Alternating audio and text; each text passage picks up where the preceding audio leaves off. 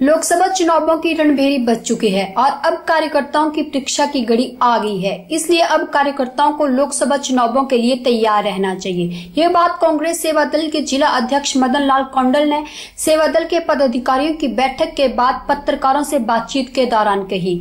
उन्होंने कहा कि केंद्र की मोदी सरकार ने साढ़े चार वर्ष के कार्यकाल में जनता को धोखा ही दिया है। उन्होंने कहा कि प्रधानमंत्री नरेंद्र मोदी ने देश की जनता को बांटने का कार्य किया है। जनता को सुविधा देने के नाम पर केवल छल मिला है और विकास के नाम पर भी कुछ नहीं मिला। मदन लाल कौंडल ने कहा कि केंद्र की यूपीए सरकार के दौरान देश व प्रदेश की जनता के हितों के लिए बेहतर कार्य हुए थे। लेकिन एनडीए सरकार बनते ही देश में अराजकता जैसा माहौल देखने को मिला है। के दौरान मैं इतना ज़रूर बोलूँगा, यहाँ पर कोई बीजेपी नाम की कोई सरकार नज़र नहीं आ रही है यहाँ पर। जो जैसे भी जो कोई उद्घाटन किए जा रहे हैं, वो कांग्रेस के टाइम के जो ऐसे जो मतलब कांग्रेस पार्टी ने जो दिए थे, वहाँ के जो मतलब लगाए गए थे, मंजूर हुए थे, वो उसके लिए जो ये अपने जो पट्टियाँ लगा रहे हैं, वहाँ पर नाम पट्टियाँ, नाम पट्टिका लगा रहे हैं।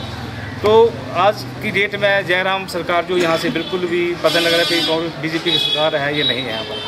हर दिन दिहाड़े यहाँ पर मौतें हो रही हैं, महिलाओं के साथ छेड़खानी हो रही है। मतलब काफ़ी ज़्यादा जो है कि इसके बीच जो कभी अभी जैसे ये एक साल हुआ, पूरा हुआ यहाँ पर तो अपने बीजेपी तो कांग्रेस के टाइम लोगों को फिर याद करने लग पड़े एक महीने के, एक साल के बीच यहाँ पर। जैसे अब तीन स्टेटों में कांग्रेस पार्टी को लोगों ने फिर से जिताया है तो ऐसे ही 2019 का जो इलेक्शन होने जा रहा है, इसमें हमारे माननीय सम्मानीय राहुल गांधी जी प्रधानमंत्री बनने जा रहे हैं। तो आज से हम सेवा दल वालों ने ये प्रण कर रखा है यहाँ पर पूरे हिमाचल प्रदेश में। ठोकर सुखविंदर सिंह सुक्खू की अगुवाई में अनुराग शर्मा जो सेवा दल के अध्यक्ष की अगुवाई में कांग्रेस पार्टी एक नया इतिहास लिखने जा रही है। चारों की चारों सीटें जो कांग्रेस की पार्टी की जोड़ी में डालने जा रहे हैं।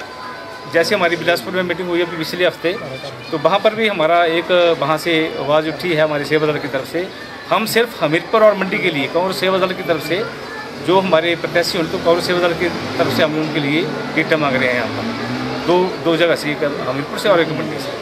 अभी हाल ही में मुझे सेवा कांग्रेस सेवा दल का जिला महिला जिला अध्यक्ष नियुक्त किया गया है।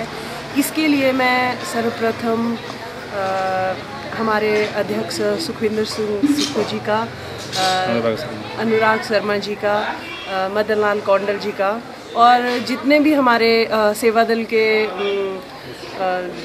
वरिष्ठ। अधिकारी हैं, उन सब का हार्दिक धन्यवाद करती हूँ कि उन्होंने मुझे इस अहदे के लिए चुना।